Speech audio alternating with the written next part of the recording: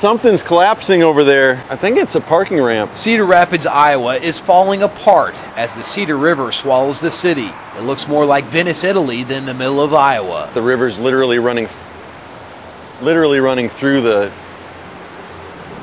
through these buildings. Steve Shriver owns an organic lip balm business located in downtown, and his production room is in the basement, several feet underwater. I mean, we have, you know, a million sticks of lip balm sitting in that building that we can't reach, you know, waiting to be shipped out. Despite days of preparing for the flood, nothing was able to stop the water from rising.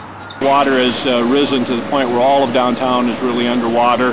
Uh, all of our steam system is down underwater, so the major customers of steam, both industries such as Quaker Oats and, and folks like that are out, uh, and our electric system is out as well. Cedar Rapids is overrun by an unimaginable amount of water, and the Cedar River is taking with it anything it can as floodwaters continue to rise. The city has put an evacuation order in effect for downtown, and that's helping keep people away.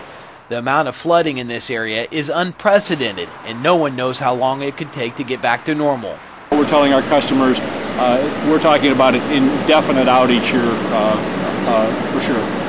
It's just too much to look at for Shriver. His livelihood is underwater. And there's no insurance to cover it. So, uh, you know, we're really hoping that there's going to be some sort of uh, FEMA help or some sort of national uh, support. For now, all anyone can do is watch the water rise.